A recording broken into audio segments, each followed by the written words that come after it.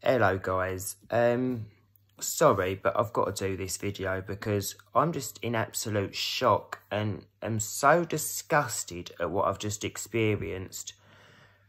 Um, and the irony is I can't believe I'm still shocked anymore considering I've been campaigning for trolling to be a crime for over a year and a half now.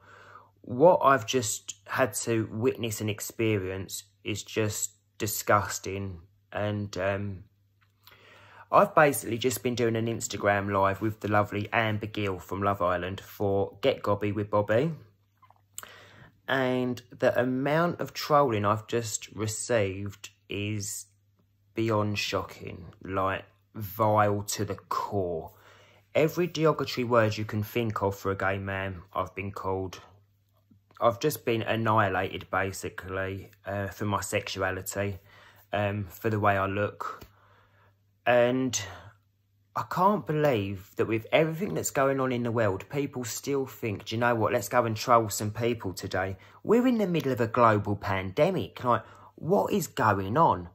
So I want to talk to you, Mr. and Mrs. Troll, because I know you're watching, because you're in my comments, you're in my DMs, you're in my Instagram lives, so I'm pretty sure that you're going to be here now.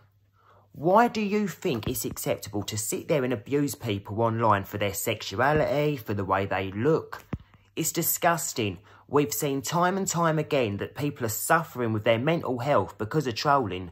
We've seen that some people are even starting to hurt themselves because of trolling online. Unfortunately, we've seen that some people are even taking their own lives because of trolls and abuse online. So what part of that's banter, funny or just a laugh. I don't get it. Honestly. Please, in the comments here, Mr. and Mrs. Troll, because you've got a lot to say on DMs. You've got a lot to say on Instagram Lives. Come on, please, down here, in the comments, fill me in on why that's okay for you to, to sit there and say that to me. Now, I've said